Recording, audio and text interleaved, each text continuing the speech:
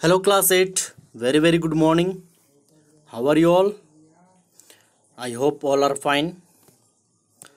Uh, आज हमें शुरू करना है यहाँ से बट गॉसिप से है ना अब अडो अब्दुल रहमान का ये कंटिन्यू कर रहे हैं हम तो यहाँ से कर रहा है कि but gossip began to spread all over the town जो गॉसिप था वो पूरे टाउन में फैल चुका था to save his reputation merchant का रेपुटेशन की बात थी। The merchant filed another case he denied all wrong doing and bought off three of the four witness who either did not appear in the court और pretended ignorance क्या करता है? सारे भी जितने रॉन्ग डूइंग्स थे, उसने क्या किया?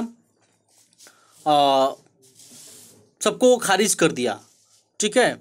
और उसने तीन जो है, ऐसे विटनेस गवाहों को बुलाया, चार में से who either did not appear in the court of pretended ignorance और चौथा जो है, वो उससे हट गया इग्नोर कर दिया, नज़रअंदाज कर दिया। There remain only Abdul Rahman ठीक है? वहाँ पे सिर्फ़ अब्दुल अड्डो अब्दुल रहमान साहब रुके थे। The council for defence seriously doubted the wisdom of putting such a man in the witness box but the accused had implicit implicit का मतलब होता है unconditional faith in Abdul Rahman Abdul Rahman ठीक है? जो जो ब्लेम था, सिर्फ़ उसके पास फेथ था अब्दुल रहमान के पास, जो, जिसको लोग पीटे थे। वेन अब Abdul Rahman received a summons he said to himself summons means होता है एक नोटिस भेजा जाता है कोर्ट के द्वारा, ठीक है? उसको समन कहते हैं। Abdul Rahman received summons he said to himself adore Abdul Rahman you have been summoned to appear in the court of justice तो अपने आप से बातें करने की आदत थी उनको। तो न्याय के न्याय के जहाँ न्यायालय में उनको पेश होने के लिए आ, जाना था इसीलिए अपने आप से बातें कर रहे थे। Such a place is worthy of respect और वहाँ पे आदर का भाव होता है। That mean that he must not go there without wearing shoes तो उसने कहा उन्होंने कहा कि वहाँ जाएँगे ठीक ठाक बनकर जाएँगे अपना जूता वूता पहन के। He manage to get hold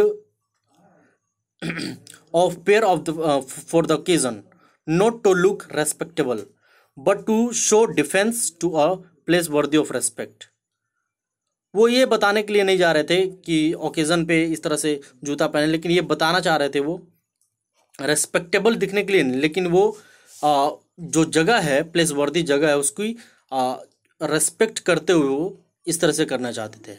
At every hearing he went to the court in his godri प्रत्येक हियरिंग में वो गोदरी के साथ जाते थे carrying his shoes in his hand according to the custom of Sindhi villagers when he was called to give evidence he put he them on this on with ceremony his godri was folded length wise and draped like a scarf around the neck he had hardly stepped in when the liver liveried liveried का मतलब person who wear uniform as similar to servants तो जैसे और अन्य सुनवाई में वो जाते थे गोदरी को लपेटे हुए ठीक है?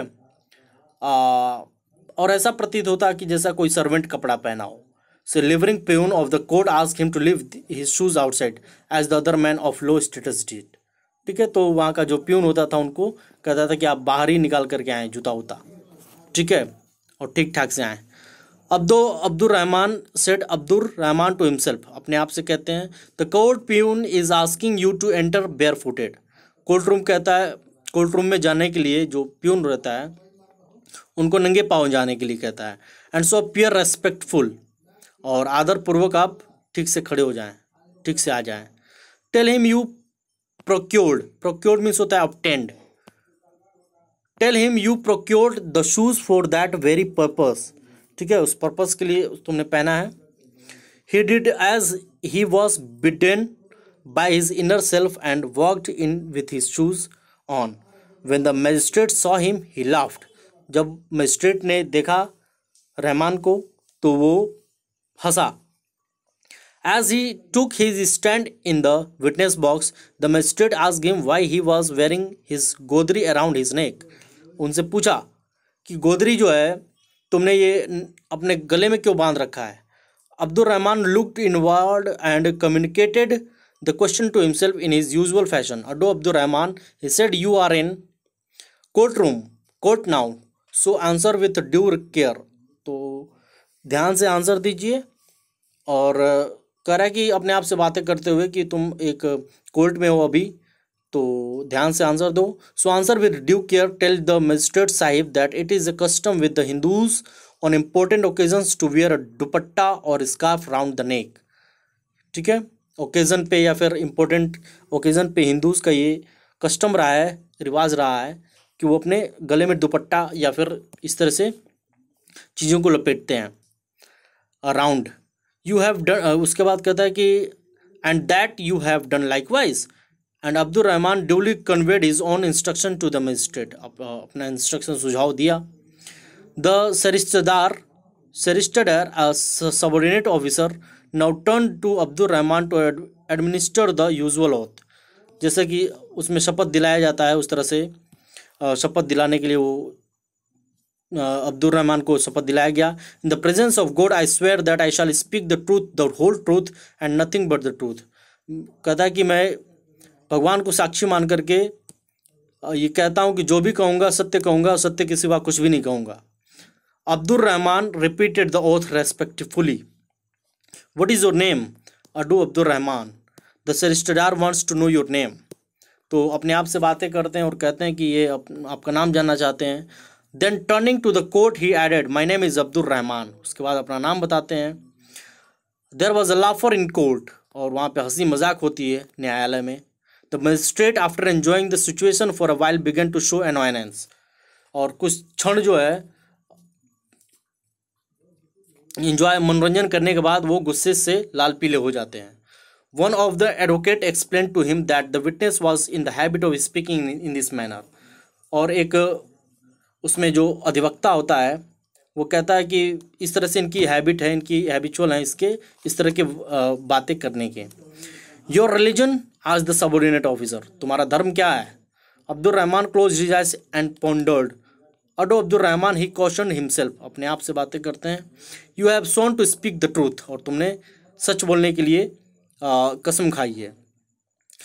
The question is awkward if you say you are a muslim the hindus will take exception if you answer you are a hindu the muslims will frown Ado Abdul Rahman do not perplexed वो परफ्लेक्स नहीं होना चाहते थे confuse में नहीं होना चाहते थे अगर मैं ऐसा कहता हूँ कि मैं हिंदू हूँ तो मुस्लिम को बुरा लगता है मुसलमान कहता हूँ तो हिंदू को बुरा लगता है तो वो कन्फ्यूज़ नहीं होना चाहते थे पजल्ड नहीं होना चाहते थे you can solve this problem with this verse from saint Sachal और इस प्रॉब्लम को तुम सेंट सचल से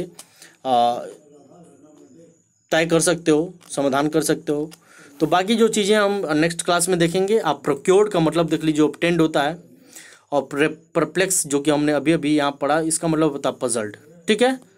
तो आई होप कि ये क्लियर हो गया होगा। So that's all for today's class thank you